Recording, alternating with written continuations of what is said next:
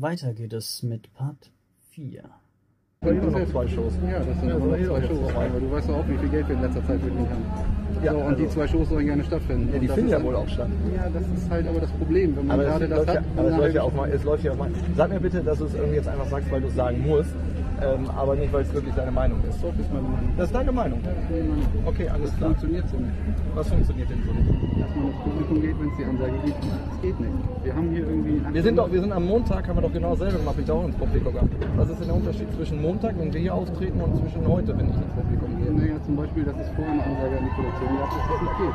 Was, aber, aber ich habe doch, aber ich habe doch Montag vor zwei Wochen habe ich doch genauso, genauso ins Publikum gegangen. Ja, das stimmt. Ja, gut. Und da Und war da es gab da, es vorher auch schon eine Ansage. da da war's nicht kein. Problem oder was? Doch, da war es auch ein Problem. Was ist denn daran das Problem? Was ist genau das Problem? Das ist unser Hygienekonzept nicht. Das vorliegt. Hygienekonzept. Also glaubst du wirklich, dass sich in irgendeiner Art und Weise Corona verbreiten würde, wenn ich ins Publikum gehe und mit den Leuten auf anderthalb Meter 0,3 Sekunden rede? Das glaubst du? Ernsthaft?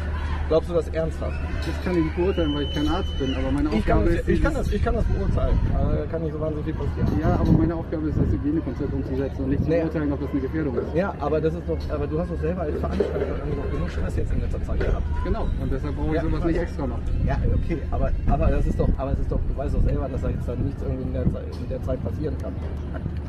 Meine Aufgabe ist es, die Produktion und das Weiterführen der Produktion Was ist denn, wie heißt denn nochmal Also, man muss mal sehr deutlich betonen, dass dieser Mensch sich sehr um seinen Job bemüht und dafür hat er meinen tiefsten Respekt. eure Produktionsfirma? Hockeypark. Hockeypark. Ihr seid der Hockeypark. Ich bin nicht der Hockeypark, aber der Hockeypark ist der Veranstalter. Hockeypark ist der Veranstalter? Also, also, du willst mich jetzt wirklich verarschen hier. Als Hockeypark? Wir haben 20 Konzerte mit euch gespielt. Wir sind auch diejenigen, die euch den Arsch mehr oder weniger retten, indem wir hier auftreten, das Ganze drumherum. Und jetzt machst du hier so eine scharfe Ansage.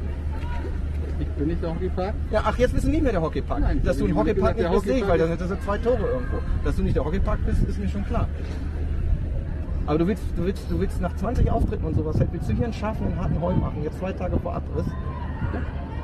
Weil das, weil das meine Produktion Scheißegal. Ja, wir saßen vorher alle unten drin und euer Ist doch total egal. Ist doch total Ob egal. wir äh, zu den Zuschauern wollen, weil noch Ich möchte von meinem Hausrecht Gebrauch machen. Ich möchte, ich möchte erstmal, dass du überhaupt froh bist, dass Leute wie wir hier überhaupt auftreten.